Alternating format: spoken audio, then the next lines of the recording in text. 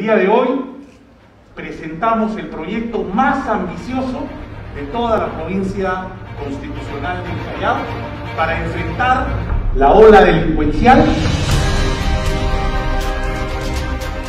27 millones de soles, la más grande inversión que se haya desarrollado a nivel de nuestro distrito y estoy seguro que a nivel de toda la provincia constitucional del Callao. Esta es la nueva y más moderna central de monitoreo de cámaras para visualizar 685 cámaras de videovigilante.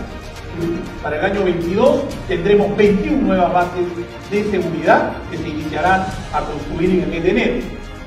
Son 260 nuevas alarmas comunitarias que vamos a trabajar directamente con las juntas vecinales y con los secretarios generales de los diferentes asentamientos humanos de Ventanilla.